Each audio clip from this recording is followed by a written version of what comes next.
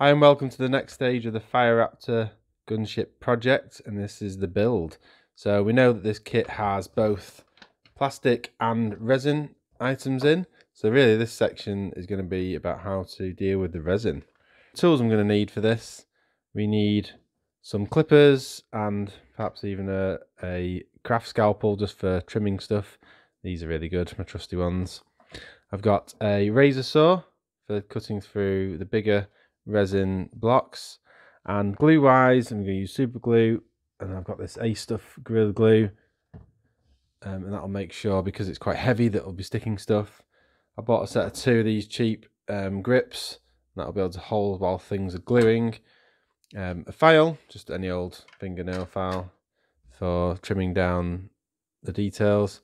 A mask, because uh, whenever you're dealing with resin, especially when you're using the saw, you need to avoid breathing in the dust. So the mask is always something that everyone seems to have now because of COVID. And then finally, a hoover. Before I get to do any gluing or building, the first thing is to prepare all these resin bits. Now, normally resin comes and it's got some release agent still on the material. So what you need to do is you need to wash them, with soapy water and a toothbrush just to give them a bit of a scrub. So the first thing we're going to do is turn this lot into clipped, ready to be washed resin. If you get any supports that are still attached like this one here, then I can just clip that off. That's nice and easy. Needs a little bit of a trim. I can use the side of the blade like this. I can also use my craft knife. And for this detail here, I can also file it a bit I'm trying to avoid any filing at this stage because the filing is going to create some dust, so I'll need the mask. Also, if you get any bits like this, little bits of film, they're quite easy to get off. See, this cut off really easy, like that.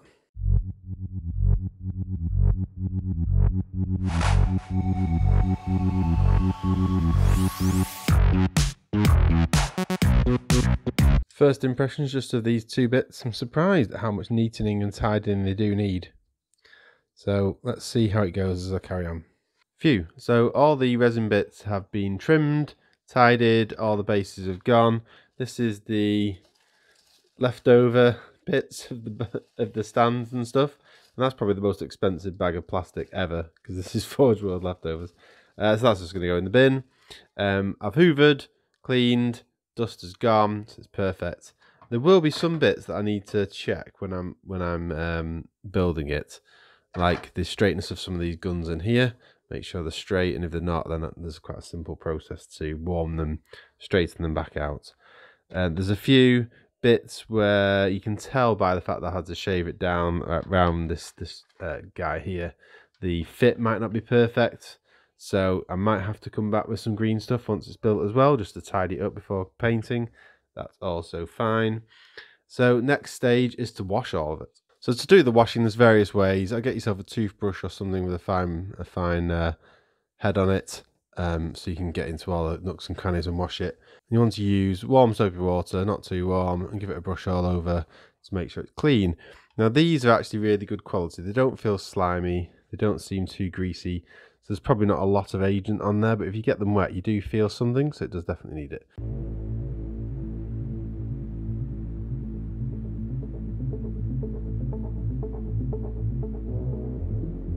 So that was a labour of love, washing all these. A couple of them needed two washes, just because they felt a, bit, a little bit greasy still, which made me think there was still some release agent on. But actually, the quality of all these pieces has been quite good. Those first two, like I said, few more problems on these, maybe because of the size. The majority of them didn't need much tinkering. So what I'm going to do now is just try and fit a few bits together. So I'll take the instructions, which like I said, are really poor, um, and try and put this together. So that's that first bit together. The fit is going to be a bit wonky. So I'll hold this front bit together, that back bit there. It's a bit bent. But I can do, uh, what I'll be able to do is use my trusty clamps. So these first two bits of the chassis were slightly out of shape, so I've had to come up with some interesting clamping ability. So clamping at the bottom, clamping at the top. I've had to use this metal rod here um, to provide clamp pressure all the way down. Um, I've used a little bit of Gorilla Glue.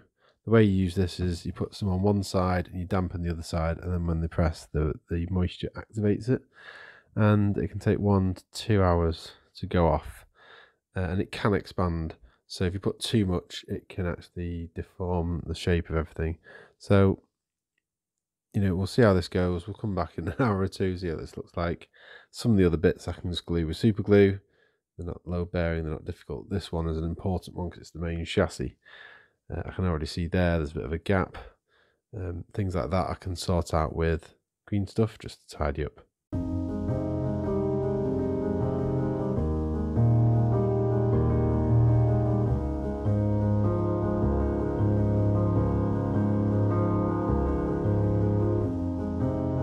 point in the build where there's some pieces that are got a slight bend to them and it's not a piece that's going to be glued to anything else so I can't pull it back into shape. I think even this one has got like a, a little slight dent. So you can see that it's it rocks.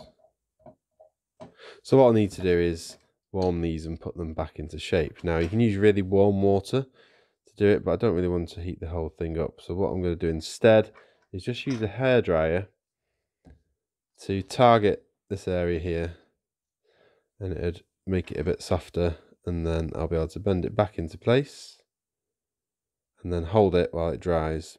And the model's finished being built now. To be honest, I'm a little bit worried about this stand because it's so heavy.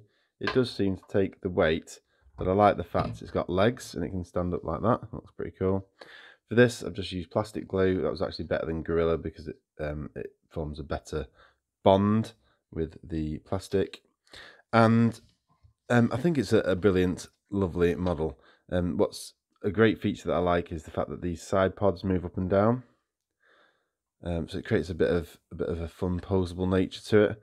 I've not put the there's actually a shield that goes over the top, so you can't actually see the marine inside.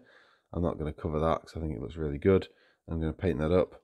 Um, and the marine at the front, there is going to be some glass, but I'll put that on last because I obviously want to paint inside there as well. I've not done any sub-assembly build just because I wanted to be able to do it in one go and I'm happy with that. So my summary about how this build went. The problem I think for this, and I'm, uh, so I'm starting with the problem, is that because you've got plastic bits married with um, resin bits, the plastic bit is so accurate and so perfectly sized that any deviations in the resin are really shown up and you get that as well apart from the deviations in the resin but also when you're clipping it and you're trimming it if you over trim it's easy to over trim and mess up and so the, the join lines are always the problem. So i think because of the warping because of the way the lines are done and because of the difference in accuracy you will get gaps like that there. And then on the top i think there's a slightly bigger gap down this side than there. And then particularly on the front here you can see a, thin gap around the edge. And I've used Gorilla Glue here, to, which expands a bit into the gaps. So I've done that deliberately. And what I'll do is I'll trim and shave that down and neaten up. So anywhere where the Gorilla Glue is showing, which is probably underneath here, you can see like a gap there. Then I'm just going to trim that with my craft knife. And then what I'll do is I'm going to go with some green stuff, mix some green stuff up, and just fill in and smooth off all these gaps. And because, uh, uh you know, this here is kind of is kind of caused by the very first two pieces that are glued together, which is the bottom and the side, and it, it causes a gap later on when you try and attach the plastic because it's so perfectly sized. You've got no flexibility in adjusting it at that point, but it's fine because once I've filled in the side here with a bit of green stuff and I primed it, it's going to look amazing. Hope you like this video. Please drop me a like. It helps the channel. Thanks so much. Bye.